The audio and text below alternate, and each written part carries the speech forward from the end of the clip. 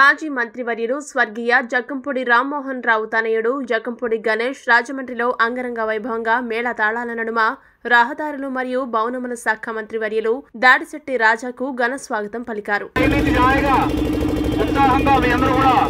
అలా వచ్చేస్తే ఎందుకంటే మన కార్యక్రమం చేపడదు వచ్చేస్తున్నారు తమిళ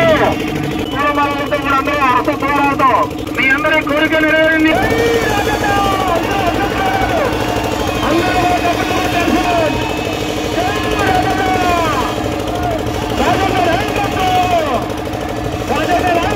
మీ అందరి కోరిక నెరవేరింది